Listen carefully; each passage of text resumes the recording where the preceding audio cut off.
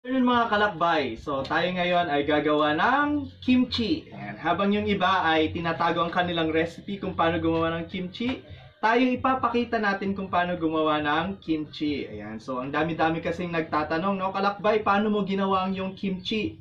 So ngayon, ipapakita ko na kung paano gumawa ng kimchi. At kasalukuyan inyong nakikita, ito yung mga recipe na mga gagamitin natin. At ngayon, ibinababad muna natin ang ito, Chinese pet chai sa tubig na mayroong asin. Ayan, maya-maya babalikan natin yan after 1 hour para medyo masarap, no? Medyo ma- ma- mapanatili ang freshness ng Chinese pet chai. Okay? So balikan ko kayo mamaya pag okay ng lahat. Okay? So, tapos ng 1 hour mga kalakbay, kailangan na nating i-dry ang ating Chinese pet chai. So, dapat ito, yan, dry siya later on. So, kakamayin ko na, yan, ah, ilalagay natin dito. Kailangan natin siyang salain. Salain natin siya. Dapat wala kasing tubig na maiwan. So, later on, ida-dry uli natin yan, no? Ng mga, siguro, abutin ito ng mga 15 to 30 minutes.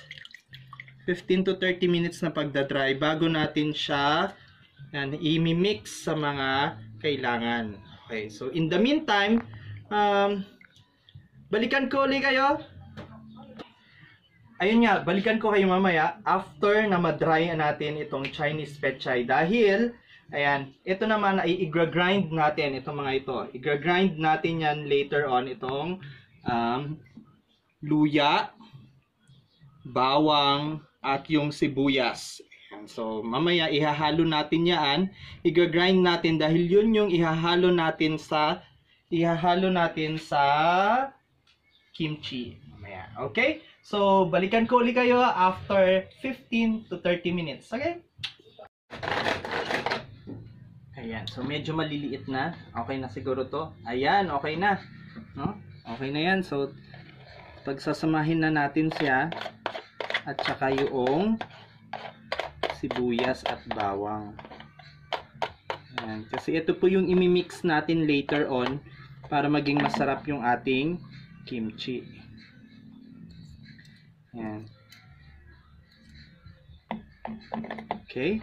So, after nito actually, ayan. So, lagay muna natin paghaluin natin.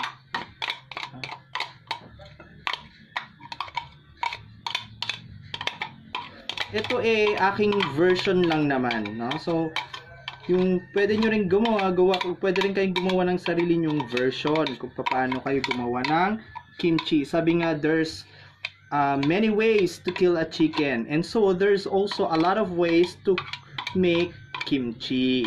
Yan. Pero of course, nasa, ayan. So, pag mimixin natin yan, although later on, magmimix naman na yan, no? Okay? So, ang next nating gagawin, mga kalakbay, ay magluluto tayo ma'am ng glutinous rice flour. Ayan. So, gagamit tayo ng 1 tablespoon na glutinous rice flour. Ito ay konti lang dahil kakaunti lang naman yung ating um, petchay, no? Chinese petchay natin. Iluluto natin yan, gagawa tayo ng porridge or malalugaw na yan, glutinous rice flour na ihahalo naman natin later on sa ating kimchi. Okay? So, balikan ko uli kayo mamaya kapag ka okay na naluto na ang ating glutinous flour. Okay? Okay, so andito na tayo ngayon. As you can see, naka-gloves na ako kasi ready na tayo to prepare our kimchi. So, medyo dry. Nagtuyo na yung ating cabbage. Yan. So, ilalagay na lang natin yung ating mga mga sangkap. Okay, so first, ilagay na natin itong uh, mixture ng uh, luya, sibuyas, at bawang. Okay na natin yan. Yan. Ganda, ikalat natin, no? Yan. Okay. Next is, yan, ilagay na natin ang ito. Anong tawag nyo dito? Ito ang onion, Ano? Ah, hindi nyo alam. O, sige, hayaan nyo na lang. Pero ito, sa, para alam ninyong lahat, dahon ng yan, sibuyas. Dahon ng sibuyas. Okay, so yan. Then, after nyan, ilalagay na rin natin ang carrots.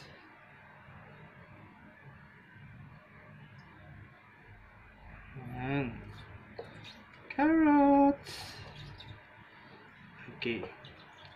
So, since nailagay na natin yan, kanina sabi ko sa inyo, magpapakulo ako ng um, nitong glutinous rice flour. So, ito na siya. Ito na yung kinalabasan niya. Yan. Kaunti lang dahil konti lang naman yung ating kimchi. Buboost natin to.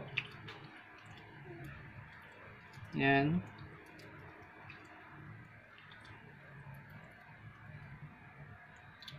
Okay. So, ayan.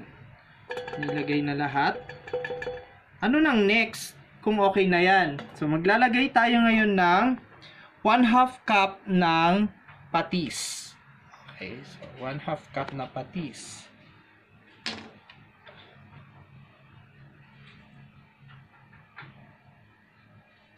Ayan. So, may meron na tayong 1 half cup na patis. Okay. So, i-mix din natin yan. Ihahalo natin. Kasi isa yan sa mga pampalasa. Okay. And, since meron na yan, yan, maglagay tayo ng 1 cup ng ating chili or powder or pepper powder. Ayan. So, bakit 1 cup lang, no? Or bakit 1 cup? Depende po iyan sa depende po yan sa kung gaano nyo karami, uh, I mean, kaanghang na gusto na kimchi. Okay? Okay, so ito, ito ngayon, yan. Lagay natin. Check natin yan kung ano maanghang-anghang na. Pero feeling ko, since 1 cup ito, maanghang na yung 1 half cup lang. No? 1 half cup lang kasi, okay. Yan no? So 1 half cup lang ibabalik ko yung iba. Okay. Ngayon saka natin siya i yan. I-mix na. Pag mixin na natin. Okay? Ayan.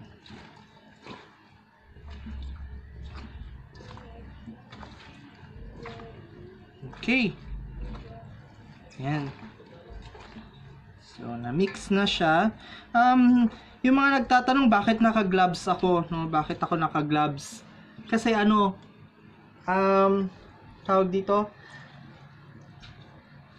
yung mga baka may mga may may virus or virus talaga baka may ano yung kamay natin yun yung magiging cause para masira yung kimchi no so mainam na meron tayong gloves para at least okay medyo malinis or malinis yan hindi madaling masira yung ating kimchi ayan so medyo na mix na natin yan, mix na natin and ready for yan, ready na tayo na sa ating ilalagay na sa tub. Okay? Ayan, no? So, ready na ito na ilagay sa ating mga tubs. Yan, yan yung mga tubs natin, okay? Sige. So, i-ready na natin, lalagay na natin. And after 2 days, I'm sure isa na itong masarap na kimchi. Yan. 2 days or kahit 1 day lang, basta ilagay sa refrigerator para ma-ferment siya.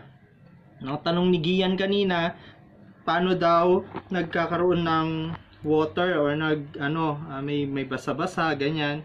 'Yun ay gawa ng fermentation. Pagka fermented na siya, nagkakaroon na siya ng tubig ganyan. So, 'yun yung nagiging uh, minsan ma maasim ganyan kasi nag-ferment na siya. Okay, yan. So, isa. Ah, by the way, isang isang Chinese pechay lang to ha.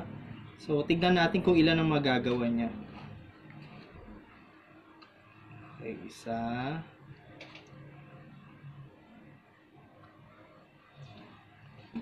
Yan. Dalawa. Yan sa mga gustong gumawa, it's perfect na maging gift lalo na sa mga lalo na ngayon Mother's Day, no?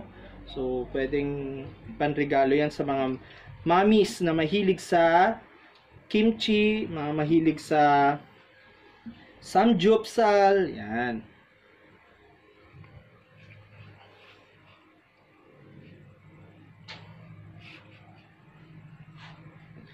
Okay.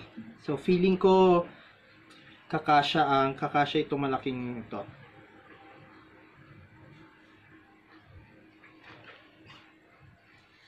Ito, perfect to pagka ano, may regalo gusto mong ibigay, ganyan. Perfect gift para sa mga nanay na mahilig sa kimchi. Okay. Yan, may mga natitira pa. Dagdagan natin yung mga kakaunti.